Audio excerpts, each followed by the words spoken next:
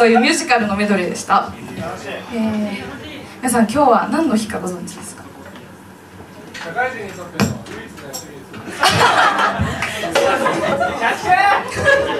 え巷ではですね今日はちょっとなどどっかの国から何かが落ちてくるみたいなですがそうそうお伝えしたんですけど、えーというわけでですね今日はここに皆さん来てくださってるってことは命がけで見に来てくださってるっていうことだと思うのであ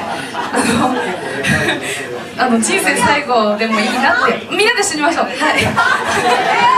というわけでハードルをめちゃくちゃ上げまくったところで次歌って踊れる山田由美ちゃんにあパスします。次は山田由美ちゃんによる熱いナンバーです。お聴きください。